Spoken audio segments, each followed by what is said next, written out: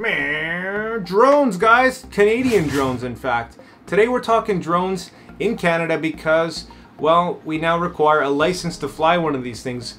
And it just happened a few days ago, June 1st, 2019. And if you don't know about this and you're still flying your drone, there's some pretty hefty fines that you're going to be faced with, so you got to get it together. We're going to talk about all the changes, all the rules, everything you need to know, and kind of break everything down and find out if maybe this is something that you still want to think about investing in or not. Who knows? And if you do, if you're going to go for your license, I'm going to show you how and give you some tips and tricks so you can get going on it quick. Let's go.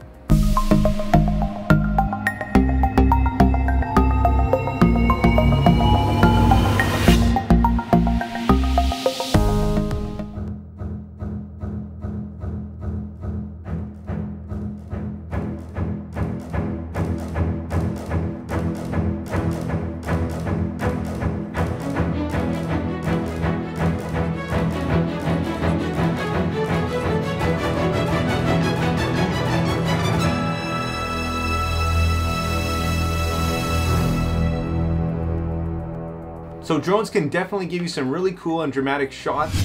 And it's great if you're a YouTuber or a hobbyist or somebody who just wants to get a drone and fly it around for fun.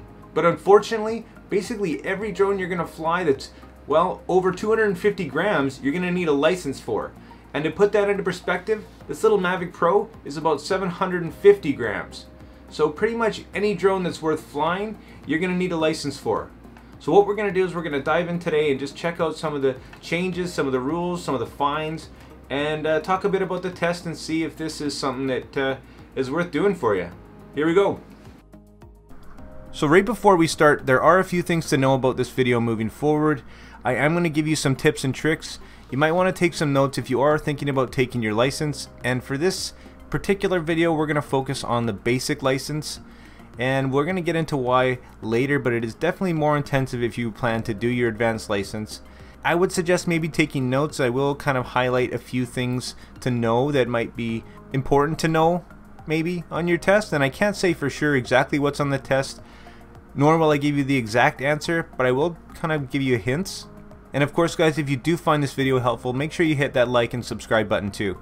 So jumping right in, everything that you're going to need to find, basically everything drone related you're going to be able to find on the Government of Canada website, and specifically the Transport Canada website, or page. And this is kind of what it looks like right here. So a few things to know right off the bat, you're going to look for your legal requirements when flying a drone, and like I said, anything over 250 grams, you're going to need a license for, which is pretty much everything. So make sure you know the basically the bylaws of your cities. Make sure you know the general laws, the privacy laws, anything that you think is important before you get out there. We're not going to cover all that, of course, but make sure you respect the laws of your country. And if you're flying to any other country or you're going to a different place, make sure you check out their laws as well. You don't want to get yourself into problems. So let's first look at the penalties. If you screw up, this is what happens if you do bad things with drones. Firstly, fines for individuals. $1,000 for flying a drone without a license. $1,000 for flying an unregistered or unmarked drone. And yes, both of those things cost money. Your pilot license at this point is $10 and to register a drone is $5. Of course it is. It's up to $1,000 for flying where you're not allowed and up to $3,000 for putting aircraft and people at risk. If you're a corporation and break these rules, you're paying up big time. Basically, they're not screwing around. Keep this in mind. Another thing to note is that insurance at this point is recommended but not required. So let's look at a few things to note while flying your drone. Firstly, make sure you have visual line of sight, meaning you can see your drone at all times. This is important. Two, make sure you know you can fly your drone a maximum of 400 feet in the air. And definitely remember this. This is an easy number to remember, but I would also maybe check to see if you know the difference between sea level and ground level. That might be important. Fly away from bystanders and if you have your basic license at a minimum horizontal distance of 30 meters or 100 feet. Do not fly near or definitely not over pedestrians. Stay away from emergency operations and advertised events. Avoid forest fires, outdoor concerts and parades, and stay away from airports and heliports. 5.6 kilometers from airports and 1.9 kilometers from heliports. Know these numbers. If you have your basic license, definitely fly only outside controlled airspace. If you want to fly inside controlled airspace, you need to have your advanced license. Don't fly anywhere near airplanes, helicopters, or other drones. And this is just common sense, but a human occupied aircraft always has the right of way.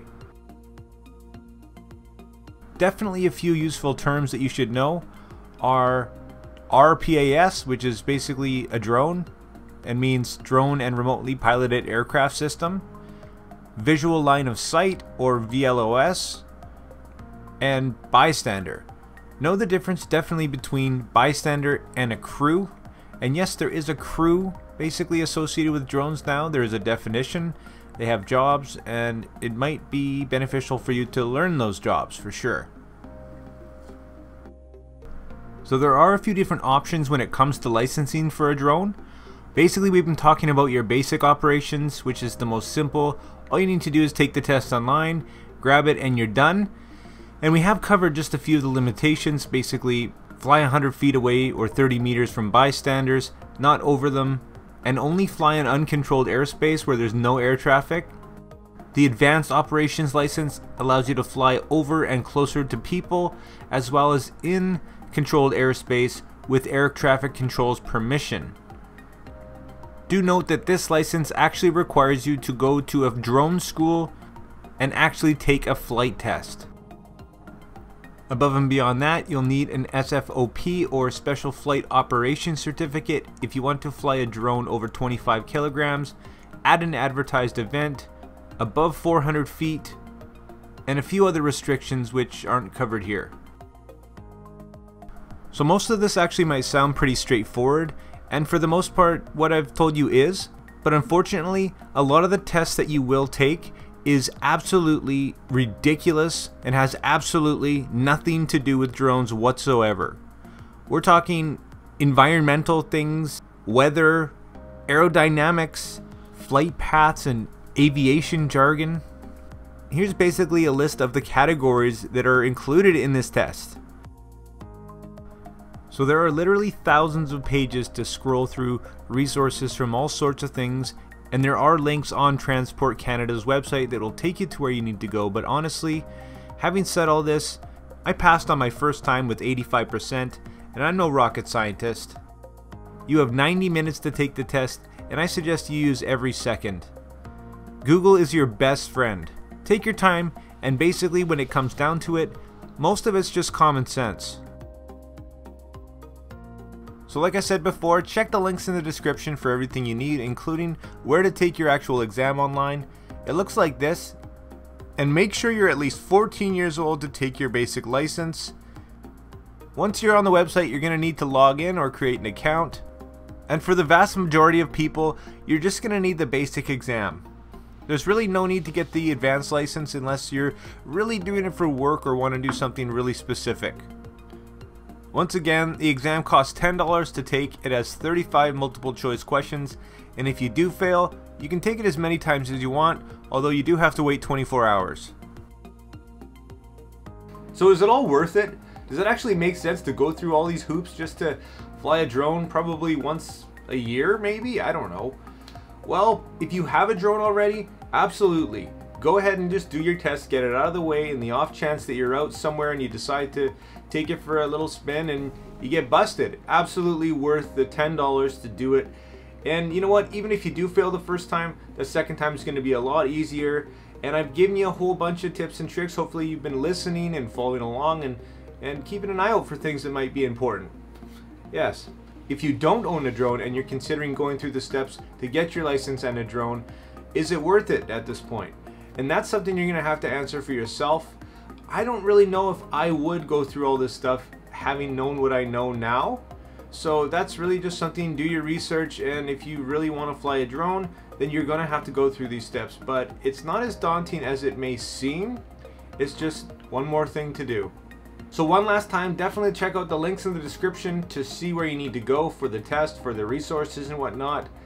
And if you have any questions, drop them in the comments as well. I hope this video helped you out. If it did, consider hitting that like and subscribe button. And yeah, definitely drop your questions and comments down below. Like always, make mistakes, be yourself, and get out there and take some more pictures. See you next time, guys.